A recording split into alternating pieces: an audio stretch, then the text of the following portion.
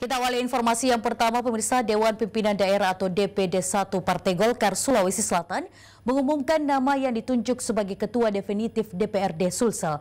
Berdasarkan hasil seleksi di tingkat Dewan Pimpinan Pusat atau DPP, Andi Indah Kartika Sari ditunjuk sebagai Ketua DPRD Sulsel Definitif.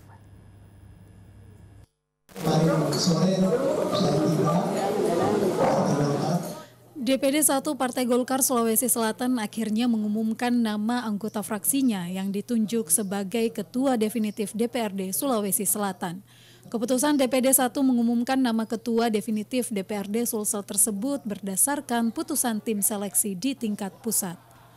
Ketua DPD 1 Partai Golkar Sulsel Nurdin Halid menjelaskan, dari tujuh nama yang ikut seleksi calon Ketua DPRD Sulsel, DPP memutuskan nama Andi Ina Kartikasari sebagai Ketua Definitif DPRD Sulsel.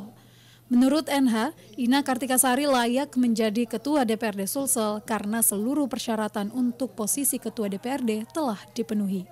Menurut saya terbaik, dan ini juga sejarah bahwa untuk pertama kalinya pimpinan DPRD Ketua itu dipimpin oleh seorang perempuan dan ini bukti juga bahwa Partai Golkar memberi ya, kepercayaan kepada perempuan tidak membedakan dengan laki-laki itulah ya, kebesaran daripada Partai Golkar. Ketua Koordinator Bidang DPP Golkar ini menambahkan, dengan ditunjuknya posisi Ketua DPRD Sulsel tersebut, maka dirinya meminta kepada para anggota DPRD Sulsel dari fraksi Golkar untuk menjadi mitra pemerintah yang kritis, strategis, dan konstruktif, khususnya dalam mengawal aspirasi masyarakat. Yahya Aditya, Celebes TV.